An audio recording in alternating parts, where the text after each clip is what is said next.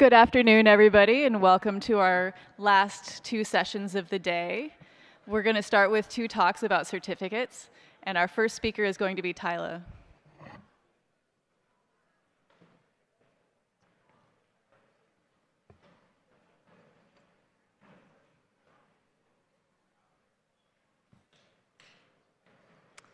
All right. Good afternoon, everybody, and I want to say thank you to the organizers for inviting me to speak. It really is lovely to be here. So who in this room uses the web on a daily basis? And we use it for a number of different things, don't we? To conduct online sensitive transactions, online banking, online shopping, to connect to our nearest and dearest. But why do we trust the web? I would argue that we trust the web for some definition of trust, because we have TLS that works in combination with a public key infrastructure, a PKI. Now, I know a fair bit about TLS, but I've always sort of taken this PKI component for granted. And at Mozilla, as a browser vendor, we obviously care a lot about this component because problems in the web PKI mean problems for every single user on the web. Now, most people should be fairly familiar with how the web PKI works. We have these things called digital certificates, and they map an entity's identity to its public key. And they're issued by certificate authorities, or CAs. Now, at the top of this chain, we have a root CA, and it acts as a trust anchor. And its certificate is embedded in the root store of a browser. Now, there might be a number of intermediate CAs along the way before an end entity certificate is issued, and at each stage, the appropriate digital signature is added. And this is effectively how we create a chain that leads all the way back to the root. And this is how we inject trust into the web. But what if something goes wrong? It's estimated that over 500,000 private keys were leaked because of the Heartbleed vulnerability. And estimates vary, so it's probably a lot more than 500,000 private keys. And what does this mean? Well, this means that an attacker could successfully man in the middle your TLS connection, and decrypt the current session, or an attacker could impersonate a server, or perhaps even decrypt past sessions. So this is bad. Now, what should happen when a private key gets compromised? Well, the corresponding digital certificate that relates to the public key should be revoked. So the owner of that certificate should request revocation. And the issuing CA should produce a public cryptographically verifiable attestation that the certificate should no longer be trusted. And the onus is on the client to check the revocation status of the certificates that it receives. So revocation on the web is really, really important. But revocation in the wild is broken. And what I want to do over the next 35 minutes or so is talk about current methods for revocation checking on the web and why they don't really work in the browser ecosystem. Then I want to talk about CRLite, which is a new way of doing things. And this was an idea that was actually born in academia. Then I want to talk about how we're translating this idea for use in Firefox. And specifically, I want to talk about what it's taken to build this thing, where we are now, and we'll also consider whether or not we're done yet, a question in crypto engineering which often has the resounding answer of no. Uh, if there's time, I'd also like to talk about what it means for an academic idea to take root in industry and whether or not initiatives like this are helping us to move towards a more robust web PKI. So what methods currently exist for revocation checking on the web? Well, there are certificate revocation lists, CRLs, and these are just lists of revoked certificates that are produced and signed by the relevant CA. When a CA issues a certificate, it includes a URL to its CRL in the certificate, and it's up to the client to download the CRL and check for revocation status of the certificate that it has just received. But these things can grow to multiple megabytes before a page can load.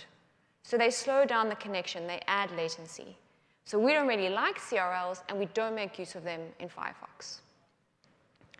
Then there's the Online Certificate Status Protocol, or OCSP. This allows a client to query the revocation status of a single certificate by sending an OCSP request to a CA's OCSP responder. It receives the response which is signed by the CA, so it can trust this response. Now, in theory, this should be better. But these things fail often, they're very unreliable, they add latency to the connection, and there are also privacy concerns. because they leak the information about the domains to which the client is connecting. So what you may have noticed up until now is that the client is doing a lot of the hard work for revocation checking. But what if we shift this work to the server? And this is what happens in OCSP staple. So the server is responsible for sending an OCSP request to an OCSP responder, receiving the response, and stapling it or attaching it to a certificate that it is going to serve. Now, this is a bit better. It addresses the latency, it addresses privacy concerns, but it's not quite perfect because an attacker can easily strip off an OCSP response and happily fail open their way to victory. And what does this mean? This means that of all of the methods that I've just described, if they don't work, if the client cannot determine the revocation status of the certificate, it goes ahead with the connection anyway. If it were to fail closed, on the other hand, it would terminate the connection as soon as it could not determine revocation status. And that's why we really like OCSP must staple. This is a TLS extension which signifies to the client that it will be receiving an OCSP response. If that OCSP response is not present, it immediately terminates the connection. The problem with OCSP must staple, though, is that it's not widely deployed on the web and many hosts don't actually support stapling. So, of all of the methods that I've just described that are deployed at scale, there are problems. They add delays, they add latency to the connection, they fail open, and there are privacy concerns. But what if we could push all revocation information to all clients? We might not need to fail open, and we would address the privacy concerns. Now, there are some initiatives in this space. Google has CRL sets, and Mozilla has OneCRL, in which we push partial revocation information to clients. We don't push all revocation information to clients. Why not? I'll let you think about that for a minute. There are also other methods that have been suggested for distributing revocation information, and one of them includes using FM radio to do this. Uh, I really don't think that all clients are going to install FM receivers, but uh, you know, it's a cute idea in theory. So why don't we send all revocation information to clients? Well, the issue is size. It matters, and this is a lot of information. And this is where CRLite comes in. CRLite aims to compactly and efficiently get all revocation information to all clients. And it does this by making very clever use of Bloom filters. Now, because of initiatives like certificate transparency and internet scanning, we have a very good view of the certificate ecosystem. So CRLite takes this view and takes all of this information and puts it in a data structure that supports the queries to the finite set of unexpired certificates. And this is how it gets all revocation information to all clients. So as a reminder, a Bloom filter is a probabilistic data structure that allows for the insertion of arbitrary sized elements. We need a bit array of size m, and we need k hash functions for mapping to array indices. Now, this is a very contrived example for the purposes of illustration. So say now we want to put data item D into the filter. Well, we do this. We compute h1 of D. This gives us 4. So we set the bit in index 4 to 1. We compute h2 of D. This gives us 11. So we set the bit in index 11 to 1. And we keep going, setting the bit in index 9 to 1 and the bit in index 2 to 1. But what if I want to put another data item into the filter? It might look something like this. And you might be able to see that there's a purple bit up there, and that's because both of these data items have collided on this index. And that is very, very possible. So how do we check if an item is in this filter?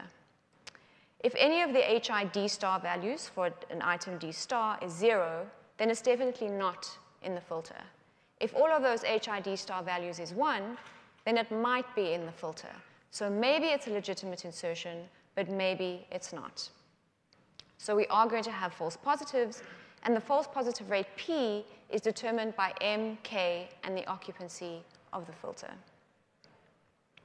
Now going forward, we're going to think about the set R, which is the set of revoked certificates, and the set S, which is the set of unrevoked certificates, and together they make up the finite set U of unexpired certificates.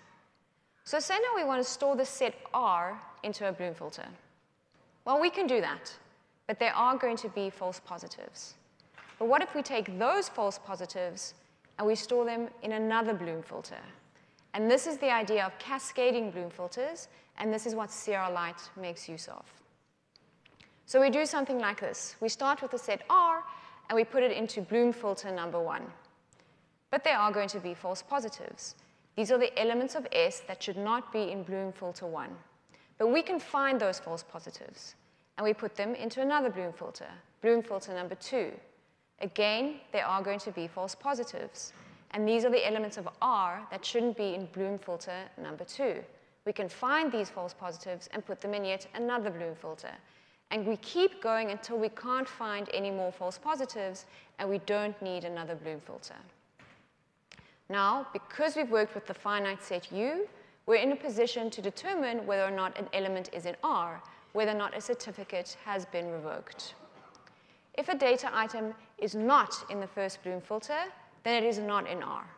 If it is in the first Bloom filter, then we don't know. So we move on to the next Bloom filter. If it is in the first Bloom filter, but not in the second Bloom filter, then it is in R, because it means it's not a false positive, so it's a legitimate element of R. If it's in both of them, then we don't know, and we move on to the next layer. If an item is in Bloom filter 1 and Bloom filter 2, but not in Bloom filter 3, then it's not in R, because we actually confirm it to be a false positive. It's actually part of the set S. If it is in all of the Bloom filters for a three-level cascade, then it is in R. So you can almost think about these even numbered filters as acting as strike lists for R. They contain all of the elements that are not really in R, but have made their way into the filter. So there is a simple method for checking out whether a certificate is revoked.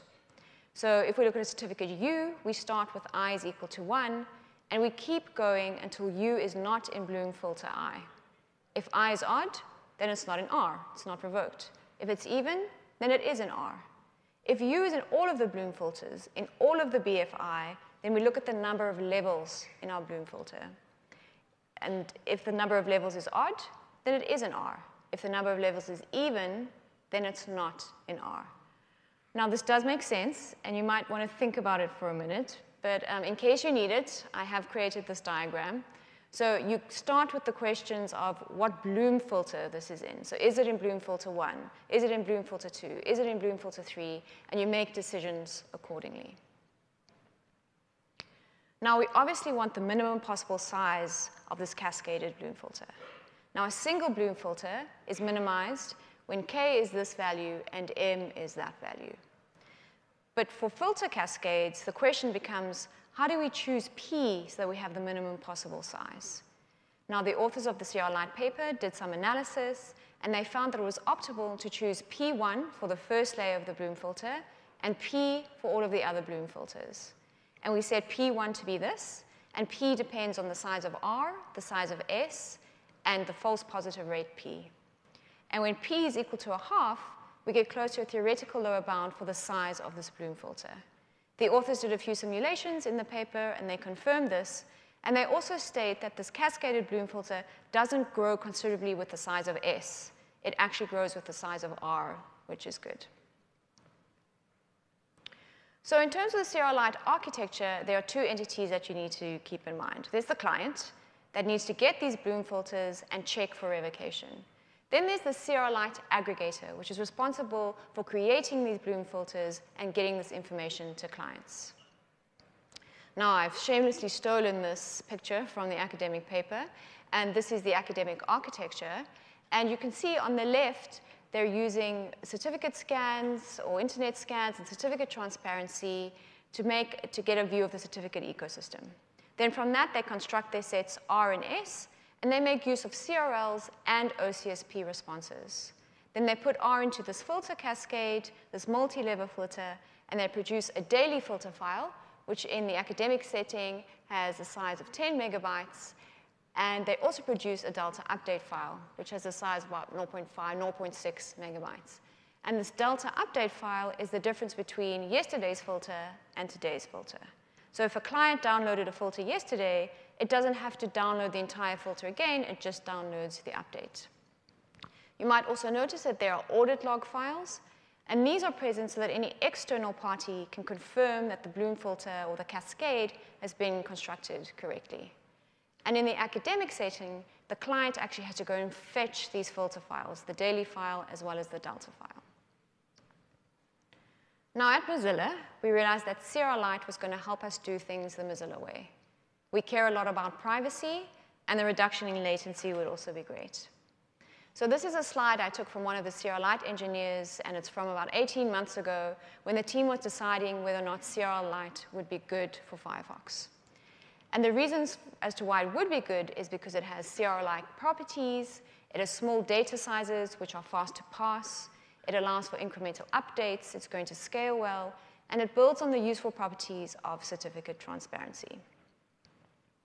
So our architecture looks something like this, and we actually only make use of certificate transparency to get a view of the certificate ecosystem, because we think this gives us a pretty good view.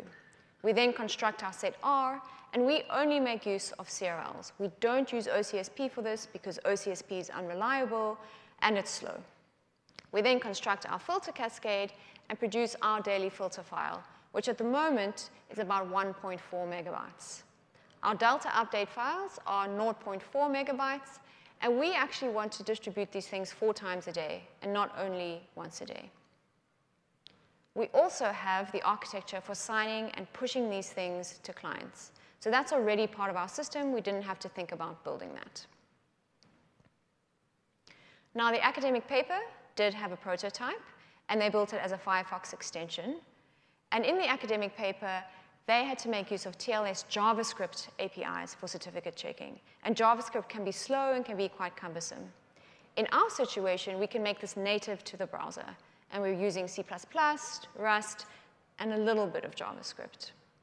Now, the academic paper cites 10 milliseconds to check a certificate chain, and for us to check one certificate against CRLite on a local machine is about 0.04 milliseconds. But we're coming in at under 8 milliseconds if we take all of our Firefox calls into account.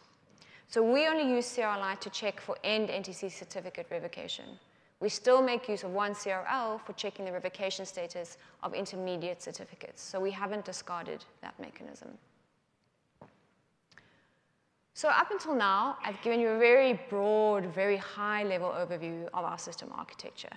But we actually had to go about and build these components for Firefox. And that meant that we had to create our aggregator to produce filter files. We had to write the client-side code for the checking of these filter files. And we also had to link all of this up to our remote settings infrastructure to push these files to clients. And trust me, these are not simple steps. If you just think about step one, there are over 2 billion entries in the certificate transparency logs. And all of those have to be processed at least once by our aggregator. And we need to use this information to create the sets S and R. And S, if you remember, is the set of unexpired, unrevoked certificates, and R is the set of unexpired but revoked certificates. And one of our engineers, JC Jones, has been working on this, and he recently said to me, it's hard, Tyler. It's just plain hard. So initially, we did all of our testing and our experimentation on a single high-performance server with a very large disk drive. In some ways, development in the setting is easier because you have only one environment to worry about but it required constant monitoring, particularly when we were getting close to running out of space. So our cloud op team, in their infinite wisdom, said, well, why don't you make use of external storage mechanisms for all of this data? So we now take certificate transparency data, and we use Google's Firestore, it's in the cloud, to store relevant certificate information, and we make use of a Redis cache to store these certificate identifiers that are actually going to go into our Bloom filters. Now, getting something of this nature to work had a lot of teething problems from choosing Redis cache sizes and dealing with a slowdown as these sets grew to encountering Golang timeouts uh, with the Firestore. So it really was a learning curve for us, and we expected this. But JC, being the wonderful engineer that he is, persisted, and we now have a, an aggregator architecture that looks like this.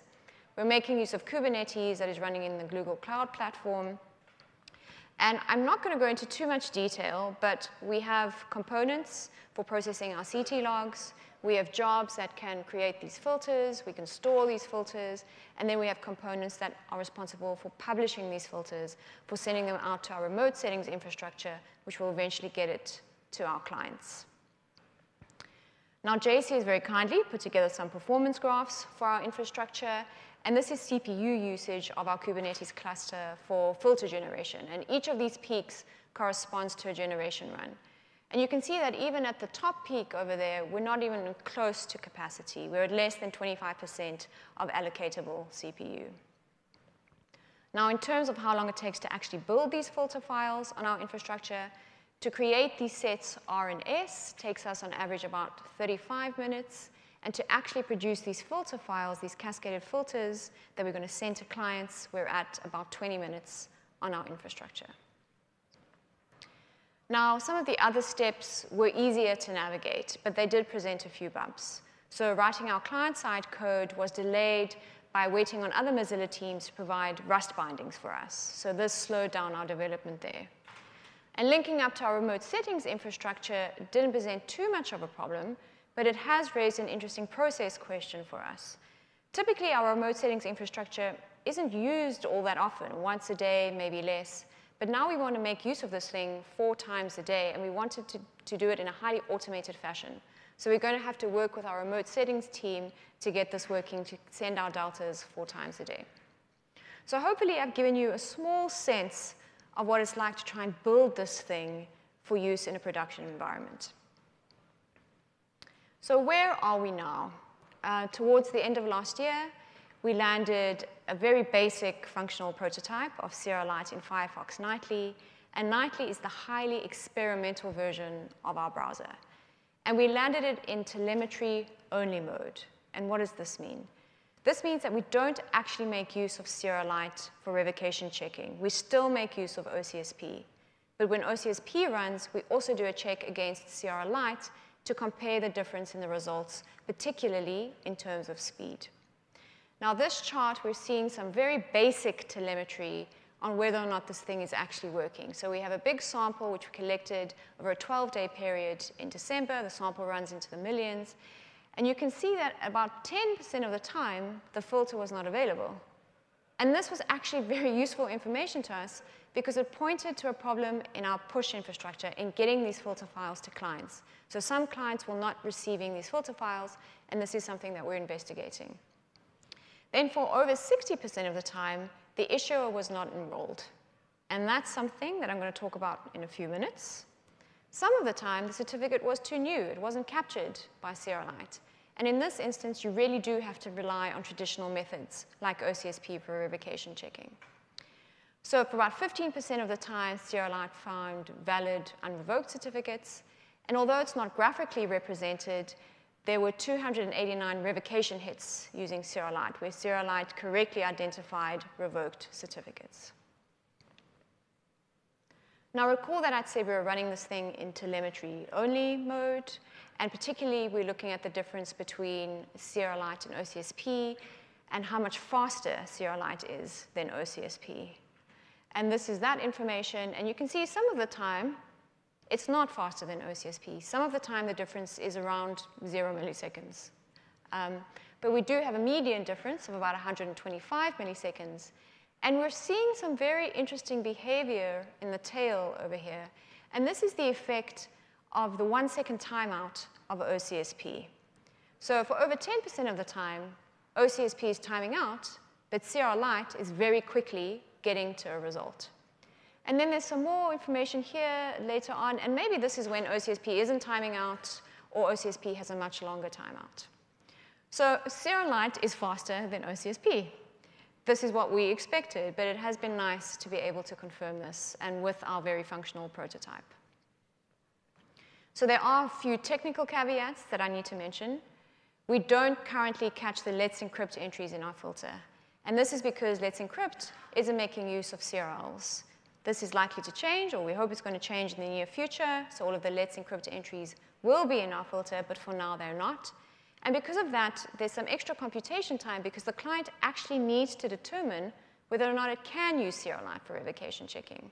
Sometimes it won't be able to, and then it has to fall back to OCSP. So we're not fully fail closed yet. And I do want to stress that we are still in prototype mode. So no, we're not done yet. Now, in terms of security, there was a brief security analysis section in the academic paper, but a lot of the paper was set aside to describe how the system functioned. Now, I spoke briefly about this work at one of our Mozilla summits, and afterwards, Tom Shrimpton, who's with us, came up to me and engaged me in discussing some work that he and his students were doing on the use of probabilistic data structures in adversarial environments. And we started talking about how this work might relate to the CRLite setting. At the same time, Kenny Patterson informed me that he'd set a student to work on looking at attack scenarios and threat models for CRLite.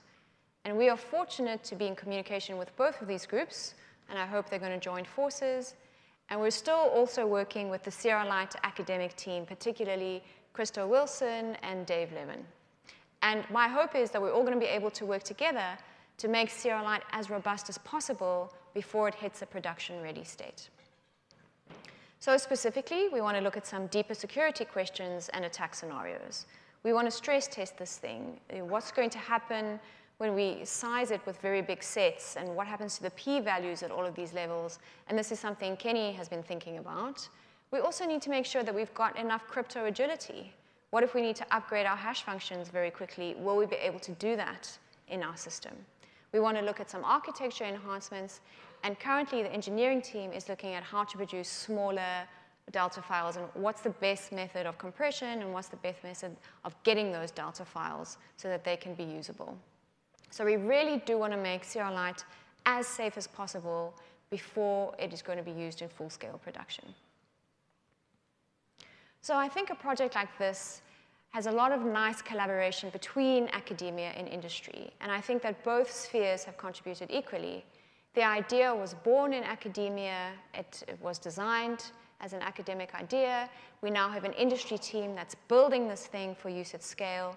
And there are more academic teams that are going to help refine this thing further to make sure that it is going to be as safe as possible for our users. So what has it been like taking an idea like this with the intention of landing it in Firefox?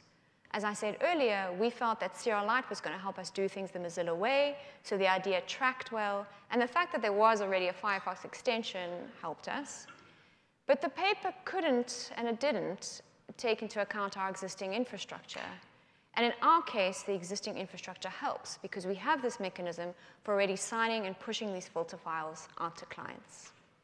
And I also think that the timing for a solution like this is good. CRLite can exist because of enhancements in other tools, particularly certificate transparency.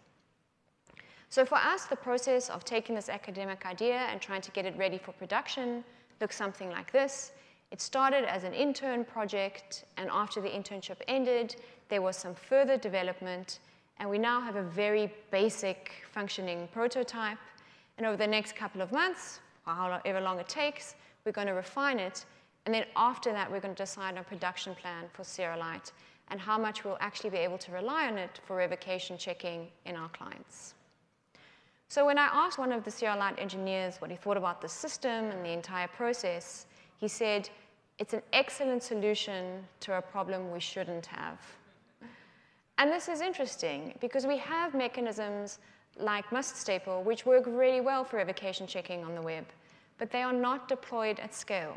And I think the reasons for that go beyond engineering, so I don't particularly want to open that can of worms right now. But it does raise interesting questions for the web PKI.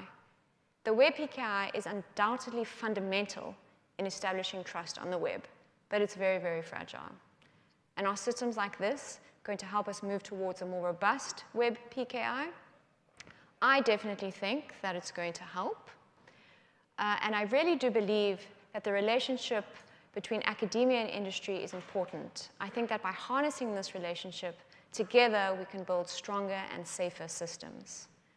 And to drive that point home, I want to let you hear from some of the people who are doing the hard work on Sierra CRLite. And I have a video, so let's hope that the video gods are with us. When we started working on CRLite, there had been a long history of developing new techniques for transmitting revocation data.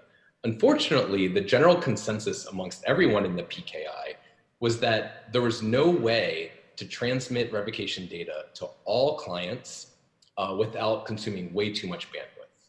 But we were determined, we figured there has to be a better way because the PKI demands it. The spec says that every client has to check for revocations. Uh, really only with the advent of certificate transparency logs did it finally make a solution possible. So in a funny way, the same folks who had said it was impossible to check for replications were the ones who gave us the ingredients that finally made it possible. After our paper was published, Mozilla reached out to us to include CRLite into Firefox, which as an academic has just been a crazy, amazing opportunity. I think the reason they ultimately decided to pick it up was because they had folks who were simultaneously writing the TLS 1.3 spec, which says all clients have to check for revocations, while at the same time making a client that they knew wasn't always checking for revocations. So I think they realized that no browsers were faithfully implementing the protocol, but that with CRLite, it would finally give them the opportunity to do so. The question we had was whether we could meet the necessary preconditions in the real world for CRLite's uh, guarantees to hold true. Could we tell if a certificate was going to be in the filter? Could we tell if an issuing certificate authority was behaving properly?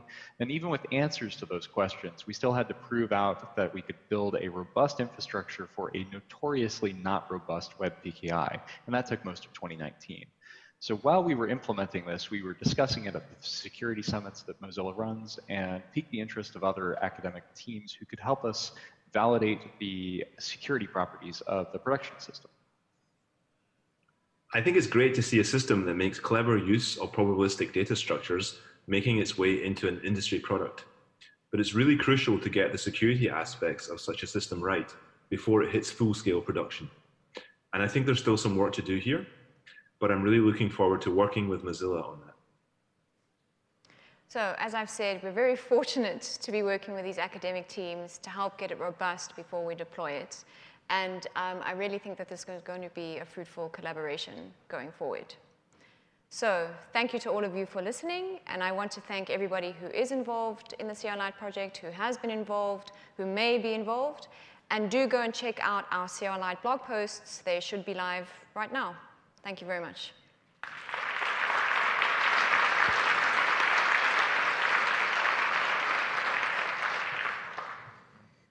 Um, hi, two, two quick uh, related questions. The first one, I'm just curious, kind of from afar, um, you chose to use this cascaded Bloom mm. filters, mm. which is not, I mean, it's related to Bloom filter, but it's not the most standard structures. There is like cuckoo hashing and so on. Uh, is there a particular reason why you happen to choose uh, this one? We chose this one because the academic paper chose this one. They do have a small footnote in the paper saying, oh, you could use other filters or other data structures. And I think it's an interesting question to see if other data structures are actually going to be better for an application like this. So I think this has been a question that has already been raised. Okay, and I guess very quickly, in, in, can you, you, I assume you support like addition and, you know, like new certificates and yes. so on, so it's, it's all okay? Yes, yes. Um, hi, similar to the uh, previous question on the data structure, um, it sounds like with the cascading Bloom filters, the whole probabilistic nature of the filter is gone because you have to keep doing that till you have no false positives. And I was wondering if things like a radix tree or other data structures have been considered uh, for storing the certificates. Yes, there have been other data structures considered. As I said previously, we just went with what was in the paper, but I think there might be other data structures that could be better. Uh, super cool talk. I love Bloom filters. They're great. Um, approximately how big is your set of revoked certificates you're working with? Ah, uh, good question. This is in our blog post. Um, I think at the moment we only have about 700,000 in there because we don't have the whole Let's Encrypt entries. Thanks. Hi, so you mentioned that you expect the Let's Encrypt situation to change. Is that because you're going to start checking OCSP or require CAs to uh, publish CRLs or something else? I think we're hoping that um, Let's Encrypt is going to start using CRLs because we want to make use of CRLs because we find OCSP slow and unreliable to use for construction. Okay, thanks. And uh, one other question. What's the um, input to the, what's stored in the Bloom filters? Is it a thumbprint? Right, yes. It's um, a hash, a SHA-256 hash value of a serial number and some other data, and it's concatenated with, again, some um, uh, certificate-specific information. It's, I can't remember the exact format right now, but it is in our blog posts of what it is. All right, thanks. Um, so my question is, do you see this as replacing, as, as a sort of intermediate step before we have OCSP must staple, or do you see this replacing uh, OCSP must staple? And I'd like to just say I'm a bigger fan of this. Okay, great, thank you. Um, I think OCSP must staple, the idea has been around for a while and it hasn't seen much uptake. I don't know if that situation is going to change. So we're sort of thinking about this as more of a replacement. Yeah. Uh, thanks for the talk. Could you speak briefly to the big uh, bar on the bar chart, the 60% of requests or certs where the issuer wasn't enrolled? Yes, that's because we don't have Let's Encrypt data in our Bloom filter, and a lot of that data is that 60%. Yet, we don't have it yet. Have you looked at the bandwidth requirements of OCSP must staple, the size that that adds to each request by each client versus the size of the uh, CRLite um, Delta um, updates and how it may actually be more advantageous in terms of the, of the demand on the network for CRLite versus OCSP uh, must staple? Right, I, I don't know what the, the difference is there, but it yeah, could be more advantageous with CRLite, yeah. Okay, thanks. Let's thank Tyler again.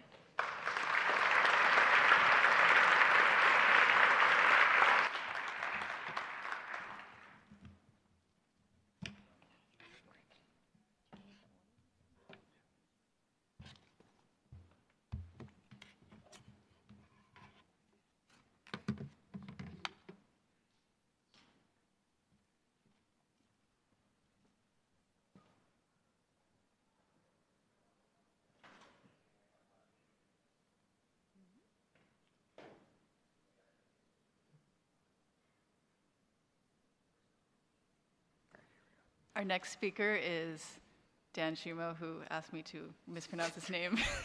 so uh, Don Shumov. That's good. Nadia offered to mispronounce my name. Uh, so I'm here to ask uh, the question of whether or not certificate thumbprints are unique and hopefully answer that as well. This is a project uh, done by Greg Zaverucha and myself uh, on the Microsoft Research Security and Cryptography team. So before we get into it, uh, I figured it'd be prudent to talk about what certificate thumbprints are. Um, you may not have come across them unless you're implementing something or analyzing uh, certificates. Um, so certificate thumbprints are just simply a hash of the whole certificate ASN1 structure, including the to be signed part as well as the signature. Um, and what's, Im, what's really important to note here is that the thumbprint hash does not necessarily, uh, it's not the, it's necessarily the same as the signature hash. And um, thumbprints still may use MD5 or SHA-1. So they're essentially just identifiers for certificates, a more concise identifier. Uh, they're displayed in interfaces, config files. They can be used to refer to certificates in code. Um, and they're sometimes similar to the way a hash is used in a hash table. So thumbprints are a, cryptographic hash, but they're not really considered a core security feature in the same way that like the signature hash is. So um, if you're going to take anything from this, the TLDR is uh, that thumbprints are aliases for certificates. Um, this work answers the question of um, certificate uniqueness, first by defining the properties we would want um, for this uniqueness, and then using these uh, definitions to determine that thumbprints are not, in fact, unique. Uh, this ain't CSI, folks. This is cryptography, so we have to be a little more careful with our thumbprints. We didn't find any way to exploit this um, or any evidence that it was being used in practice either. So now if you want to tune out, you can. So uh, thumbprint uniqueness, um, like given that thumbprints are used as identifiers for certificates and uh, implemented with cryptographic hashes, it begs the question if they are unique, um, especially given that they may be using MD5 or SHA-1. Um, and furthermore, because they're not really considered this core security uh, feature function, uh, we've encountered devs pushing back on us when we've said, hey, you should uh, migrate away from these weaker hash functions. So that caused us to ask these questions. So to the best of our knowledge, this work is the, um, the first place where any sort of properties about um, the certificate uniqueness have been introduced. So informally, the two, uh, the, there are two properties that we want from certificates, that uh, certificate thumbprints that identify both uh, directions of uniqueness that we would have. So uh, property U1 is that no two uh, different certificates uh, should have the same thumbprint, and then in the other direction, that a thumbprint should uniquely identify a certificate. So uh, this property U1, that different certs shouldn't have the same thumbprint, um, you know, as this is a hash of the certificate, uh, collision resistance is going to be enough to guarantee this U1 uniqueness. But in practice, because MD5 and SHA-1 are used, that may not be the case. So we'll actually show how a certificate issuer can create two certificates with the same thumbprint. Um, however, this is slightly more complex than a uh, collision attack because the thumbprint is computed over the whole certificate, including the signature. So this property U2 is that a certificate should have a unique thumbprint associated with it. Um, so if the certificate is held constant, then changing the thumbprint means modifying the signature for a given cert. And as such, this U2 property is related to both strong unforgeability of the CA signing algorithm and also encoding malleability. And this property in particular has uh, an implication for security um, in uh, certificate revocation lists, uh, like the last talk that we saw. Um, so to uh, demonstrate how we can break this U2 property, um, I have here the PEM for a certificate that has uh, two different thumbprints. Um, this is because ECDSA is cryptographically malleable. You just re-sign, generating a new blinding value that will generate a new signature, and then you'll have two different thumbprints. Um, RSA is not cryptographically malleable because of padding, um, but the ASN1 DER encoding can be mangled um, in a way to modify to create different thumbprints. So specifically, the way this works is you have a cert laid out like a TBS certificate, a signature algorithm, uh, and then a signature value. This signature algorithm is an algorithm identifier sequence, uh, the second field of which is optional. So there are two different ways that this could be encoded, with a null type uh, or just without the field. So the X509 uh, standard specifies that signature algorithm must match the signature field of the TBS certificate, um, but uh, this is not actually enforced in Windows. Uh, we'd like to thank the anonymous reviewer who pointed that out to us. Um, so in some cases, you may find that you can uh, uh, exploit this. So, and we did, in fact, find certificates in the wild with this difference. So now on to creating colliding thumbprints, that's breaking that U1 property. So certificate thumbprints still often use SHA-1. And uh, as I mentioned before, it's not exactly clear whether a collision attack alone can be used to create colliding thumbprints um, because of the extra structure with the signature. So uh, what we did is we used an MD5 chosen prefix collision attack because when we did this work, uh, SHA-1 uh, chosen prefix collisions were not feasible, as that was just demonstrated earlier today for the first, or presented earlier today for the first time. So uh, we actually additionally required a key substitution attack to create colliding thumbprints. And uh, I'm not going to go into the details of key substitution attacks. You can see those in our paper if you would, uh, if you're interested. But I'll just say that essentially every X509 certificate in use today is signed with an algorithm that allows a key substitution attack on it. And so what we demonstrate is how uh, a CA or a certificate issuer can create two certificates with the same MD5 thumbprint.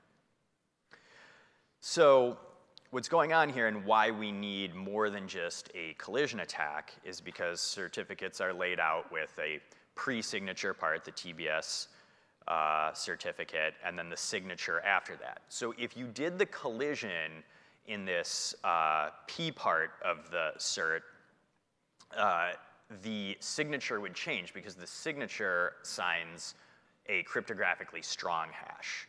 So what that means is that additionally, uh, the attacker is going to have to control the signature as well.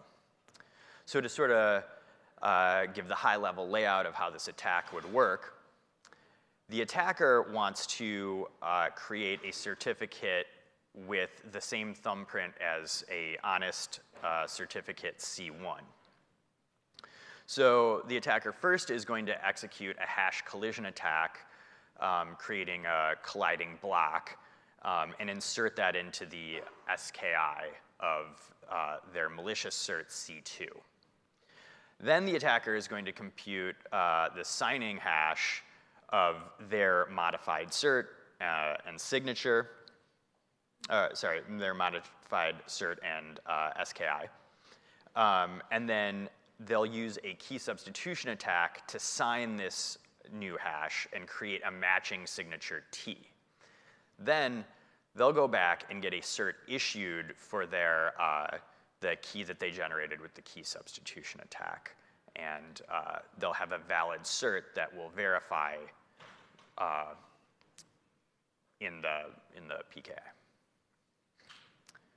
So after we demonstrated this, uh, we scanned for colliding thumbprints uh, in the wild. We did, we did this by getting data sets from Project Sonar uh, published at scans.io.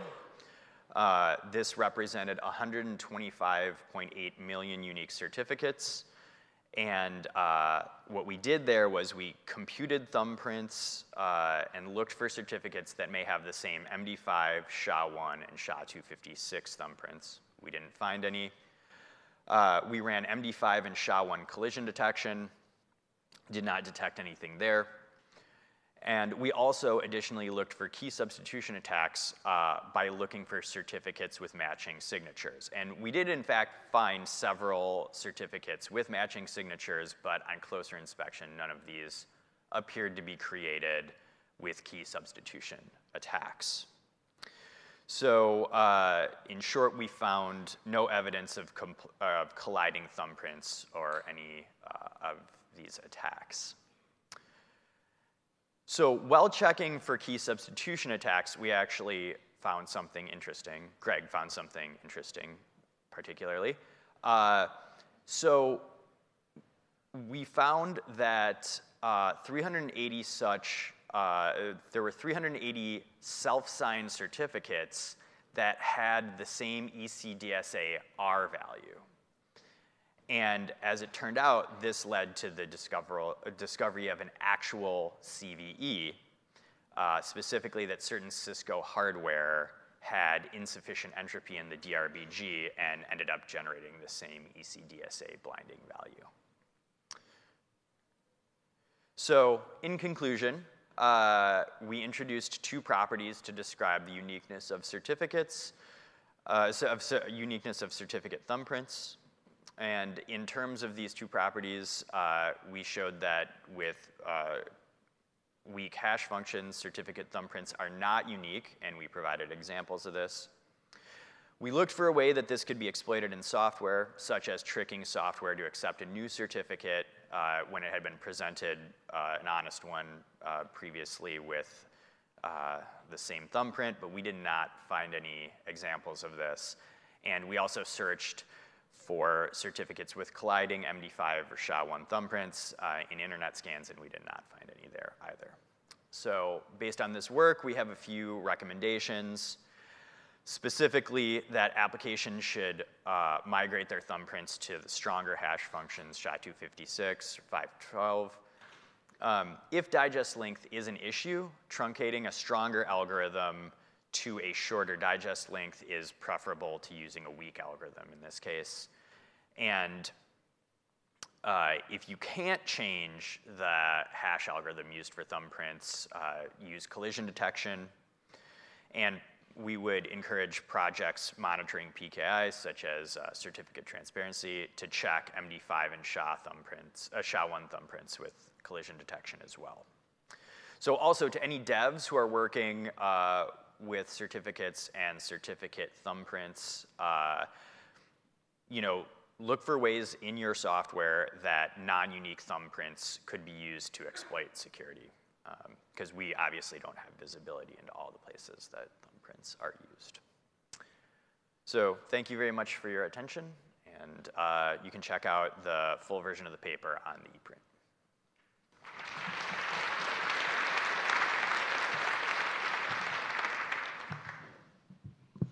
In any um, hash collection um, situation.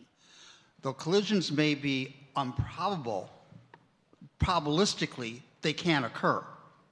I mean, the formula for that is well known, well documented, that maximum population size, deploy population size, what's the probability of a collision? It may be probabilistically very low, but it is real. What happens thus if a collision occurs naturally in the, in the ring that you're doing? Probabilistically, it's unlikely, probabilistically, it must be assumed that it will occur. Well, uh, so for the thumbprint case, I mean, the, the more critical case of this would be in, for the signing hash. So, uh, you know, so because the hash functions are defined in such a way that, you know, they would be, you know, at one time were fine for signing. Uh, it's not, it wasn't not, that's not really as much of a concern in this case. So if you get two certificates with the same thumbprint in terms of any collection? Yeah, so uh, you would have to have its uh, the square root of the total size of the mm, mm, mm, range, right? Probably, the, uh, if you want, I'll give you the formula offline. There's a formula for that that you that that that, that is there for population of, of, of M of N, M, M deployed. What's the probability of a collision? And it's it's not the square root. It's it's different formulas. Uh, so it's it's different than the birthday. Oh, bounds. it's much more realistic. You know, like what is the chance of a one percent collision? What's the chance of one hundred percent collision? Okay. For that.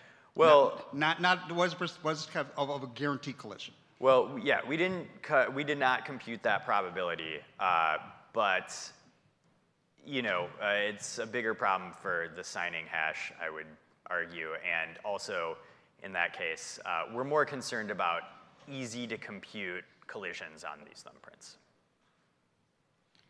Yeah, so um, I, it's probably my fault for not being up to date with this area of the literature, but you, you mentioned a couple of times checking for collision detection. Mm. Um, how do you do that? What does that mean? Oh, that's, uh, that was introduced by Marc Stevens uh, when analyzing uh, the flame attack in uh, counter cryptanalysis. Uh, and basically what you can do is while computing an MD5 or SHA-1 hash, you can check uh, for differences in the message input blocks that would cause a collision. So you can in fact filter out inputs to hash functions that uh, are causing a collision while you're hashing just one of the objects. Cute, thank you. So those certificates you found with matching signatures, what's the story behind those? Uh, there is an extensive list of these in the, uh, in the full version. Um, there were versions that looked like uh, firewalls replacing certs uh, without sort of replacing the signature. Um, there were bugs, there were normal corruptions. There, there were many different reason, uh, reasons for this. Greg did a pretty extensive analysis of those. Cool. So. Thanks. No Hi. Um, I wanted also to ask about the up here. I wanted also to ask about the uh, the colliding uh, signatures. I was wondering, like, was this only old hardware, like in the case of mining P's and Q's, or is it also newer hardware? Uh, the Cisco one, I mean. The the Cisco CVE that Greg found? Yeah, because my so there was a similar situation for mining your P's and Q's, where like uh, scanning RSA public keys, some shared one prime, and my understanding was that that was caused by low entropy during boot. Yeah, yeah, yeah, and, yeah. Uh, yeah, the poor random number generation. Yeah, I was uh, wondering if that was also the, the cause. It's yeah, it's it's like a in an abstract sense, it's like a similar cause. Yeah, like root cause. Yes. But is the hardware any newer than that?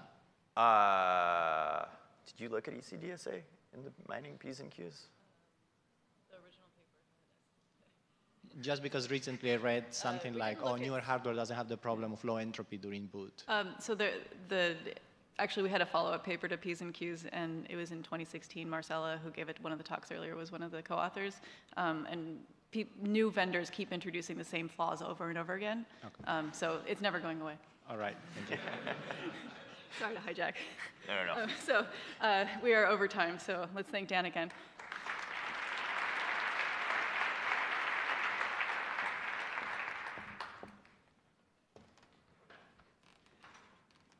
Have slides?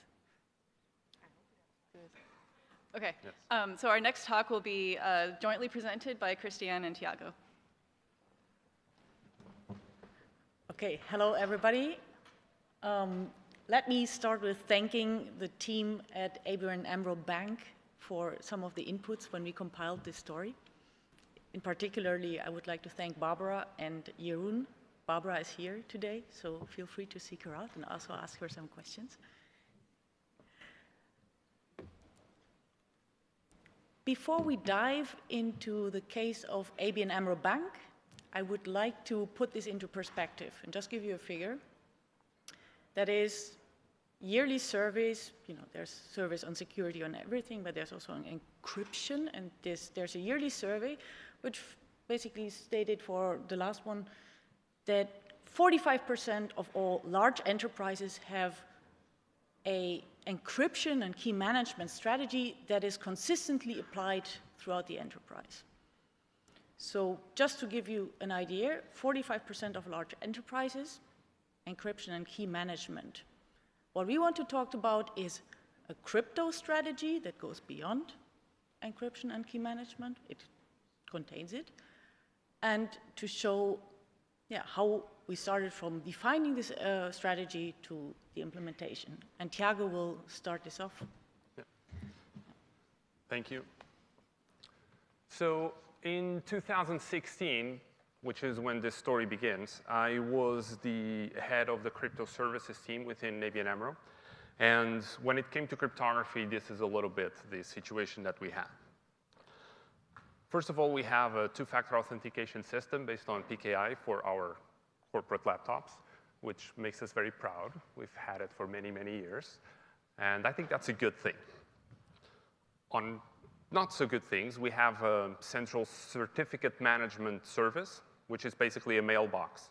So if you're a developer and you need a certificate, you have to send an email to our mailbox, and there's some um, ping pong going back and forth, and eventually, if, you're, if everything goes okay, you get your certificate Generally speaking, this process would take about a week, one week to get a certificate. We also have a central key management service. And the key management service is basically a very large and very secure three-factor authentication safe. And we have very good written procedures to access the key material inside of it. So I think this is actually quite secure, quite good on security front. It's not very scalable, and it's also painfully slow. Every time you needed to um, insert a key into some system, it's a process that would take at least half a day to a day, and multiple people would have to be involved. We also have a number of HSMs for our payment systems, so our core systems where our banking is they, uh, we deal with HSMs, and our crypto services team is centrally managing those, so we know HSMs well.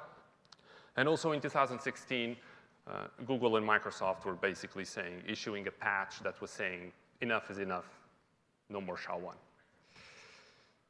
So this that we're seeing here back in 2016, I think we're just doing the bare minimum, and we needed a strategy.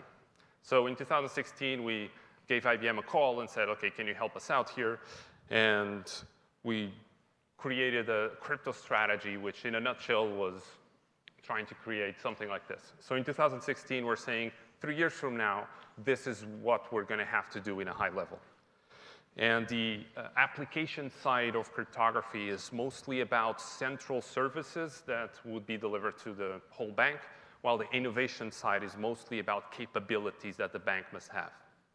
Capabilities that might or might not be delivered from the central crypto services team. And then this is high level what we had back in 2016, and nowadays we have a much more comprehensive set of crypto uh, services, central crypto services, as well as capabilities implemented within the bank.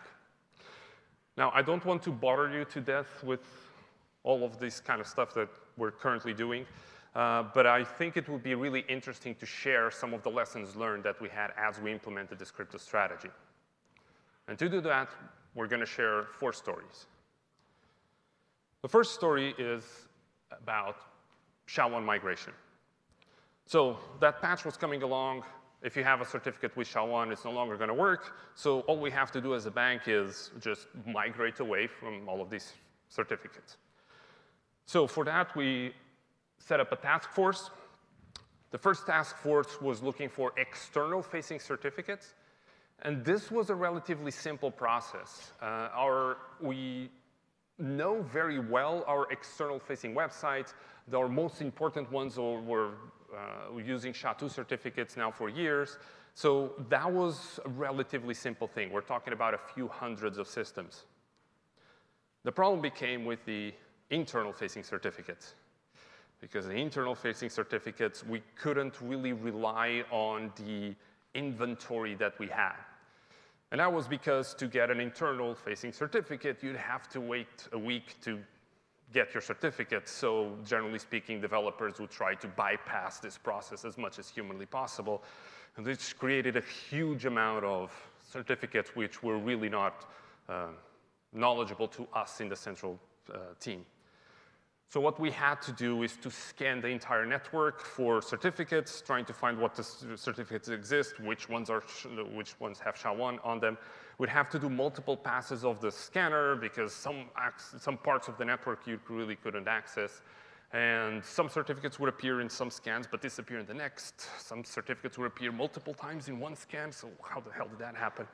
And we eventually had to set up a whole team of six or seven people that had to work on, these, uh, uh, on this for well over a year. And just to give you an idea, this is one of the dashboards that we're sharing with one of our internal stakeholders. This is the magnitude of systems that we're talking about. Thousands of systems, uh, tens of thousands of certificates. Each, each one would be its own special little snowflake. So eventually we did it. We migrated away at a very painful way in a very high cost. So our lesson learned here was know where your crypto is. And we can start with certificates. Because as you as uh, organizations become more and more autonomous and uh, we let teams become more and more autonomous, it's extremely important that the central team still knows where all of the different uh, instances of your cryptography are. Because when you want to move, migrate away from something, whether that's certificates or anything else, then having the inventory makes a huge difference. Our second story is about HSMs. So you remember that we had the HSMs for our payment systems. We know those well. And in 2016, we decided to augment that because we already have the HSMs for payment systems. Those are fine and up and running, and they work fantastically. So we can get network-attached HSMs. The beauty about network-attached HSMs is that they allow, they allow for an abstraction uh, layer for the developer, which generally speaking doesn't know cryptography that well. by providing that abstraction layer, we simplify their experience when it comes to cryptography, and we incentivize them to use central services where the cryptographic operations are done in a central, in a, in a protected environment, as opposed to let them code the single aspect of any kind of cryptography which they're using. Our lesson learned here was, as much as possible, we have to try to make crypto easy to use and, and, and deploy especially for our developers. The more, the easier you make the experience for developers, the more they will want to come to you and to use your central services. And nowadays, what we have is a, a, a far more comprehensive set of uh, um, HSM solutions for all the different platforms that we use. And for that will enable also us to have a much better key management service, which will feed from all of this. Now, for the third story, I'll hand over to Cristiano. Okay, thank you. So what you heard till now, key management, certificate management, that was operational. That was getting the basics right. But there was also the ambition, like next time they didn't want to call me or my colleagues, but they want to say, can we do this ourselves? We need to have the knowledge in-house. We want to do consulting. We want to do in, uh, knowledge sharing. And we need to build this up. And that's kind of what we set out to do. We defined the skills, we found the people, and we you know, went from a purely operational team to a team that can do consulting and advise the business. And one of the topics, you know, because I like post-quantum cryptography, that's a topic I brought in there, and then people were like, whoa, SHA-1 was such a pain, this deprecation. We don't want to do this again. Should we start? When should we start? And the answer was, I said, we start now, right? So that's the answer.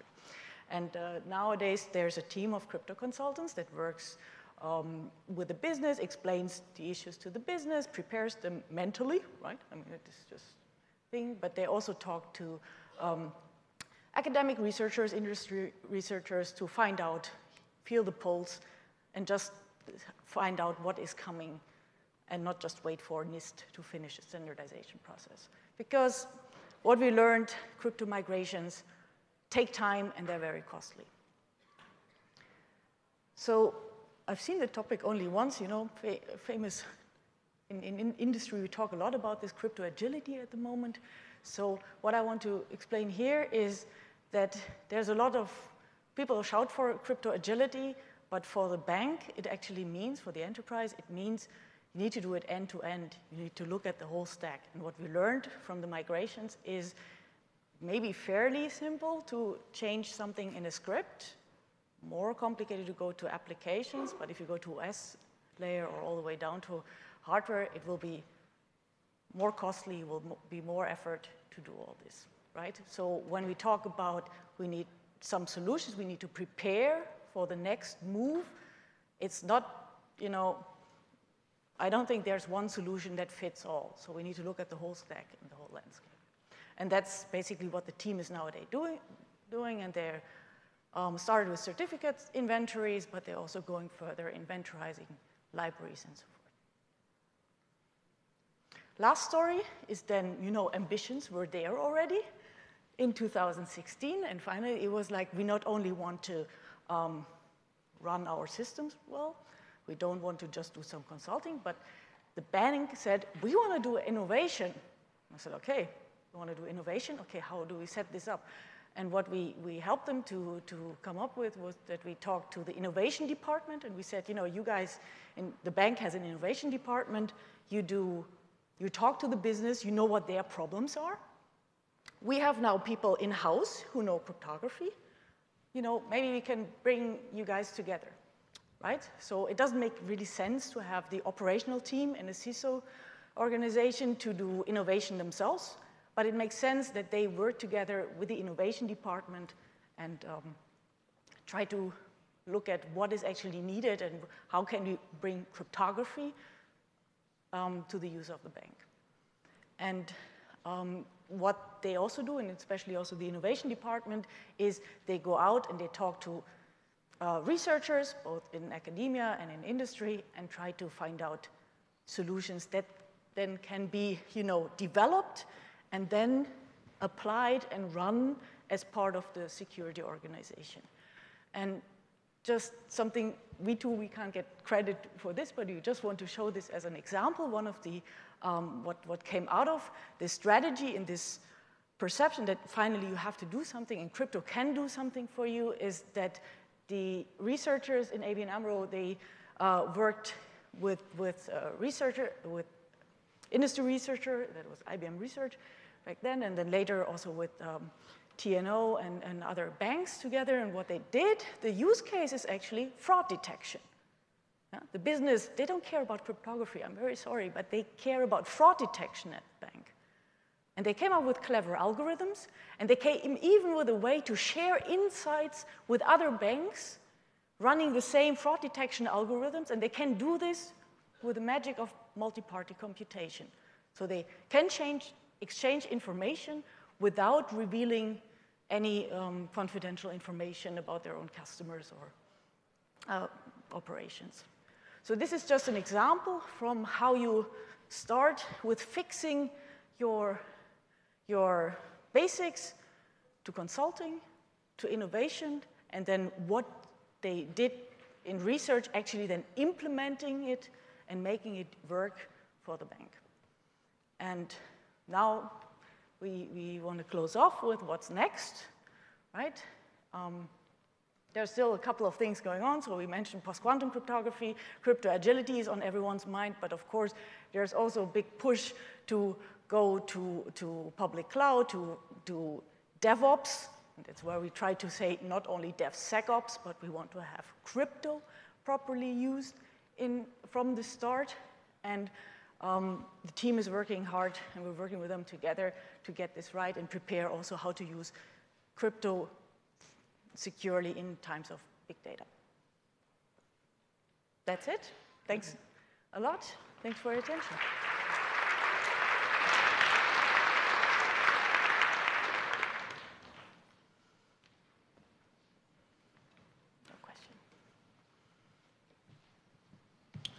Um, uh, you mentioned uh, uh, sort of preparing for the uh, post-quantum crypto, and I'm wondering what specific steps uh, you know are you guys taking, and what would you recommend to other enterprises uh, to do in regards to that issue?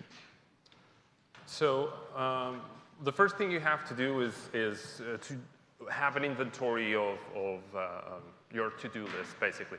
And when it comes to post-quantum, there are two aspects of it, the symmetric cryptography, which we, you know, we're still waiting for NIST to, to standardize. For everybody here at NIST, we're rooting for you. Please hurry up. And um, as for uh, symmetric cryptography, it's something that we can start doing already today by doubling the key length for, for, uh, for stuff. Um, so the, the, the, thing that I could recommend for, for very large enterprises is the, the hardest part is likely going to be knowing, having your to-do list when it comes to, to asymmetric cryptography, which is not just specifically certificates. So start doing that, and as soon as NIST says, gives us the thumbs up, then we as an industry can start migrating away. Okay. So we're short on time, so let's thank uh, Christian and Thiago Thank again. you. So our final talk of this session and the second talk in the enterprise crypto se uh, section of this session is going to be given by Gavin Watson.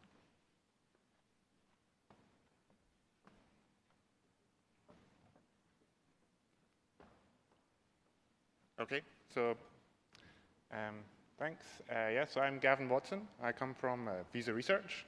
And what I'm going to talk today is about a threshold crypto scheme, which was designed within Visa Research and we're in an ongoing effort to then take that to put it to the, the wider visa um, so that they can uh, use it with an enterprise setting. So what I'll talk about is how we can take this kind of theoretical construction and what we need to add to it to make it suitable to be used in such a setting. So I don't need to tell anyone in this room that encryption is important. And we all know that it's important. It gives us all jobs. Um, so what I will say is that one thing with encryption is what we're doing is we're taking data that when we have in plain text and we're encrypting it, so we're moving the risk from that data to the keys themselves. So now we just need to protect the keys to make sure that the data is secure. Um, but what that leaves us with is the problem of key management. So we heard a little bit about key management in the, in the last talk. And in the financial industry, it's important that sometimes we use HSMs, and key management kind of equates to, oh, we use an HSM for this. But if we consider the context of data at rest encryption, how is an HSM actually used? Well, in practice, we don't actually send all the data to this networked appliance HSM because that's a lot of data we need to send across the network. Um, so what we employ is we have a key hierarchy. So we have a key encryption key, which is held inside the HSM. That key encryption key is going to be used to encrypt data encryption keys. So when I want to encrypt some data, if I don't have a data encryption key, I'm going to generate one in software. I'm going to use that to encrypt my data, and I'm going to make a call to the HSM to encrypt the data encryption key with the key encryption key. So then what I store longer term is the encrypted data along with this encrypted key. So the benefits of this approach is it's fast because the actual encryption of the large amount of data is happening in software at the application. Um, and we get the benefit that we have hardware, hardware protection um, of the keys thanks to the HSM. But the downside of this approach is that it still requires an expensive HSM and that the data encryption key is left unprotected in memory um, when, it's, when it's not in use. Um, that might not seem too bad because we're just encrypting a file and then we immediately encrypt the, the key back under the KEK. But in practice, that's not the case. It'll often be the case that I, I unwrap my data encryption key and then I hold it in memory at my application for weeks at a time, encrypting large amounts of data. So during that kind of two-week period, it could, it's possible that the data encryption key is going to be exposed.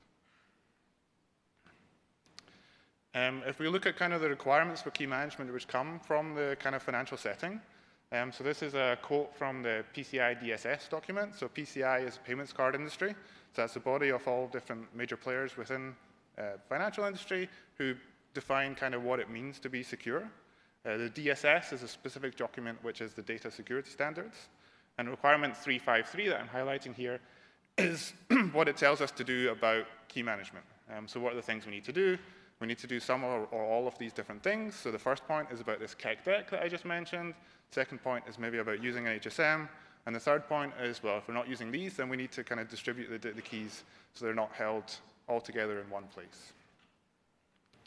So what we want with this threshold encryption scheme, which we call DiSE, is we want a pure software solution, um, but still with strong security. We're not just going to be holding keys uh, to be exposed in an application. We're using a threshold scheme, so these keys are going to be distributed. So DiSE is the, the solution we have for this, where DiSE stands for Distributed Symmetric Encryption. Okay, so DiSE was originally published by some of my colleagues at CCS uh, in 2018. Um, so Peter and Payman are, are here today. Um, it was also presented at the NIST workshop on threshold cryptography uh, last year. Um, so if you were at either of those two previous talks, you would have got kind of the technical details about DiSE. I don't have time to go into the full technical details, so I'll just give a high level and then move on to talk about kind of the deployment challenges when we're taking such a scheme to use it within an enterprise setting. So here's the high-level overview of DiSE. So as I mentioned, it's a threshold encryption scheme. So it means is we have a collection of nodes. We distribute the key, the master key, across those nodes. Each, each node's getting a different share of that key. When an application or a user wants to encrypt some data, what's going to happen? So I want to encrypt some data D. I'm going to do a cryptographic commitment to that data that I want to encrypt.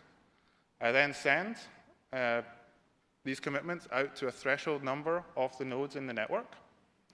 Those, each of those nodes, together with their key share, calculate some new value. And actually what's happening here is we're calculating, a, we're performing a distributed PRF. And you can even, in fact, view this as a distributed key derivation. Um, and so DiSE itself has two different um, modes, uh, one which is based on using AES, and another one which is based on elliptic curve cryptography. As I mentioned earlier, if you want the full details, I refer you to the paper or come and talk to one of us um, after the talk. Um, so yeah, so once these nodes have done this calculation, they send these parts back to the, the, the encryptor of the, the data. They can then reform this into an ephemeral one-time data-specific key. So this key is going to be tied to the data that we are performing, we are encrypting. We then use this to encrypt the data itself. So the ciphertext is now going to be composed of this encrypted data along with that commitment we, we calculated earlier, because we're going to need that commitment later when we want to do decryption, because decryption will just be the same thing. We do this distributed PRF to re recalculate the key to then do the decryption later. So benefits of this approach is that the master key always remains distributed. It never needs to be recombined at any time. As a threshold encryption scheme it's secure against a T minus one, so it's up to one less than the threshold number of um, parties. As long as they're no more than that are compromised, we're still going to be secure. Um, as a very small network cost, because again, we're not sending the full data across these nodes, we're just sending this very small cryptographic commitment. And on the other side of that, because we're just sending the cryptographic command, we get data privacy. None of these nodes will ever learn what I'm encrypting, because I only ever have that full data back at my application where I'm going to encrypt the data. Okay, so in terms of performance, if we look at the AES-based version of uh, DiSE, we get really good figures in terms of the performance. Um, there's a much more detailed um, kind of figures in the, in the paper if you want more details, but here's just one example of one of the setups we did. And here we get really good figures. You can see throughput, throughput of a million encryptions per second and a latency of half a millisecond per encryption. If we wanted to compare DiSE with other approaches, so first of all, going back to the HSM story, um, so because it's a pure software solution, it's cheaper and more scalable than HSMs. If we compare it to secret sharing, which we heard a little bit about earlier today, um, the benefit of DiSE is we don't need to recombine that master key. To do our encrypt-decrypt operation, the master key will always remain distributed. And then comparing to MPC, um, because we're just doing this distributed key derivation and then actually encrypting our data locally, we can get much better performance than you would with, with MPC. Okay, so that's a very high level, very quick um, overview of DiSE. So now I want to talk about, well, what are the things we've needed to add to our kind of academic code of DiSE to make it something which is usable um, in an enterprise setting. So going back to the story of key management, which again we heard in the previous talk, um, so we can have some nice funky crypto which allows us to generate the master key in a distributed fashion so no one ever learns the full key. Um, but in practice, we may need some other functions around that. So we may need to be able to import and export master keys from the system. Consider we have a deployment of DiSE in North America, and we have another deployment in Europe. So they're both going to be encrypting, decrypting the same data, but they're going to be doing that in different places. They need the same master key. So you're not going to be able, need to be able to import the master key from one system to export it from one system to import it into the other. So you're going to need extra functions that allow you to do that. You may, in some sense, if you're, if you're very prudent, you might want to export it so you can take a backup of that master key in some other secure location. From an interoperability perspective, because in any large enterprise we have many different systems, we're going to need to be able to migrate from some system into the DiSE network using these different keys. We might need to later migrate data out of being encrypted using DiSE to encryption under some other system. So we're going to need to to have flows which allow us to do that in a, in a nice, easy fashion. And then finally, because it's the compliance, because it's the financial industry, we really compare about compliance. And going back to that PCI standard, sometimes we really need to tick that box that's saying we have a hardware root of trust. It might seem contradictory to what I've said already, but maybe in some instances we give, need to talk, tick that box for the auditor, and it could be as simple as that the master key backup is held within some secure hardware. The next deployment reality, authentication and authorization. So I saw in my, uh, my high level kind of depiction of DiSE, we have this user calling into the network to perform an encrypt or a decrypt. But really, we have to check that this is a person that's permitted to making these, making these calls.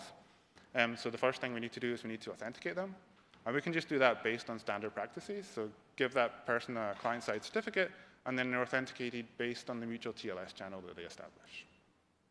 But then once they're authenticated, what are they permitted to do? So one thing we can do in terms of authorizing what they can do is that in that commitment, we calculate um, for DiSE, when we commit to the data we're, being, we're encrypting, we can also commit to an identity of a user, which will be later permitted to perform the decryption. And in the time of decryption, the DiSE nodes can check that that user calling to do a decryption is the permitted user. One of the other things we can do is that sometimes in an enterprise setting, we have many different applications, and we need to separate them within different key zones. So different applications are permitted to use different keys. They have different master keys for DiSE, let's say. So at the time of them making the call, we need to check whether they're authorized to use the master key that they're calling to, the particular set of DiSE nodes that they're calling for.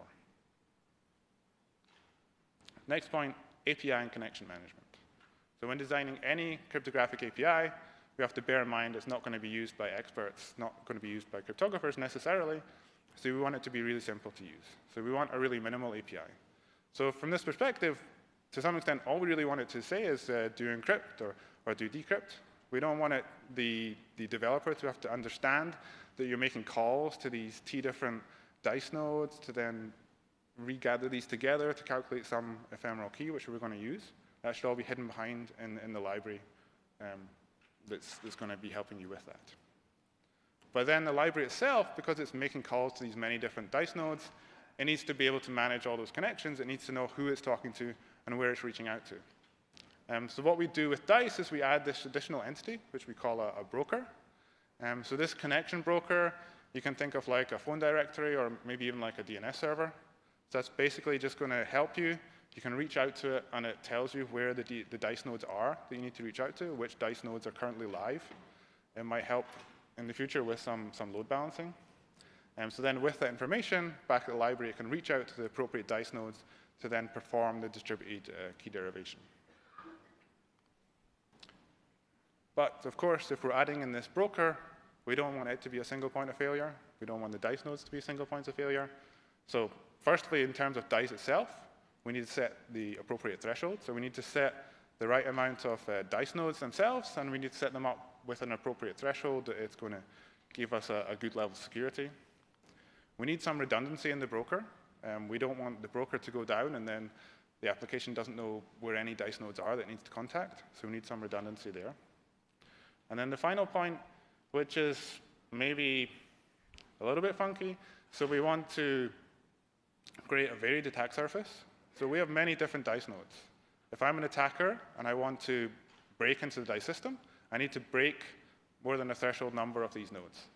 So if I kind of make these, these nodes very different, then he's going to need to perform different attacks on different nodes to be able to break the whole system. So I could have some nodes which are Windows servers, some which are Linux servers, and so it's going to be much harder for him to, to break into it. The kind of the practical issue with this is it makes it much harder for system administrators. They now have a much more diverse landscape they need to manage, so it might be a pain point for them to, to do that in practice. Okay, so that's kind of some of the, the realities we faced when working with uh, the actual teams that use these systems in practice. So we're currently ongoing in terms of getting this up and running so we can get a look at and use really in an enterprise setting. Um, we're also working internally through our processes to be able to open source this. So hopefully in a month or so I should have some positive news and we can share it with you guys and you, you guys and you can also have a play at, uh, at using our, our threshold encryption scheme. Um, so thanks, and any questions?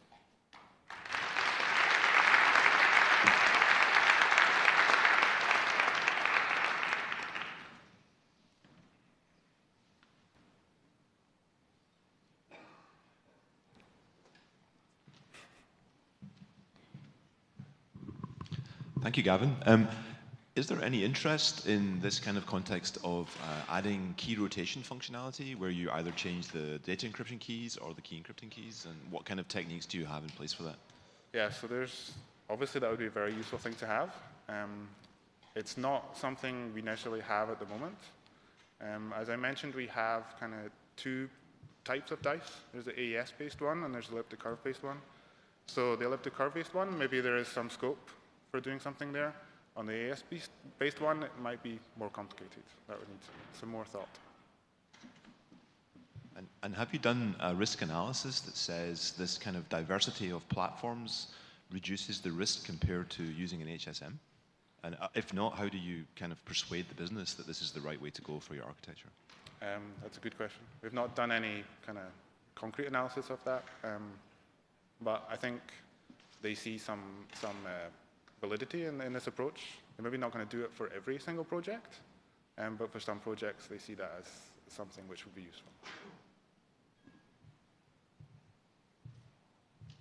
Hello, thanks for the talk. Um, you mentioned one of the things with deployment is if you can, you know, get into a threshold of servers, then you can attack the system.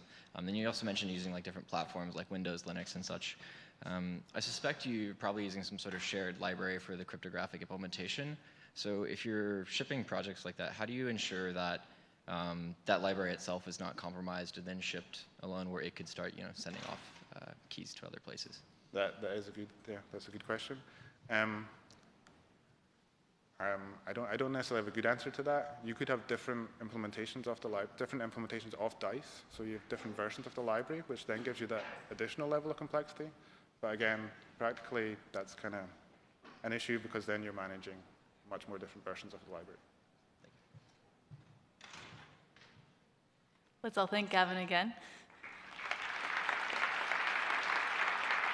And let's thank all the speakers of this wonderful session. And that concludes our program for today.